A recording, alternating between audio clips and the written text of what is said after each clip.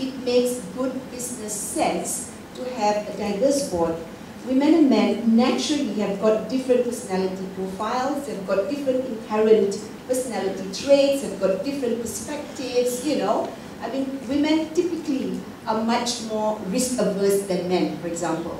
And uh, uh, um, post the global financial crisis, risk management, for example, enhanced risk management becomes uh, even more critical on boards. Uh, and people should not be making, you know, hasty uh, decisions um, or taking, you know, undue risks uh, that could jeopardize not just their own company, but the whole, you know, economy and financial system, as we have seen.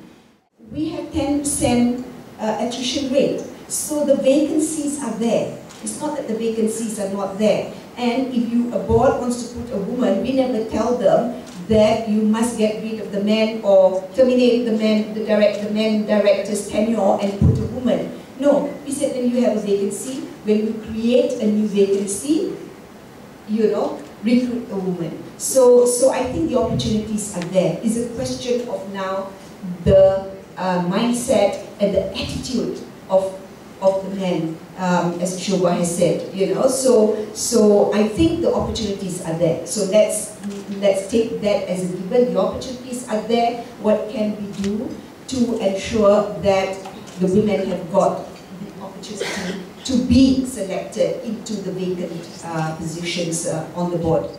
Uh, we have to have more male champions, for example. Women sitting around and talking about, oh, that's a fact, is a reality.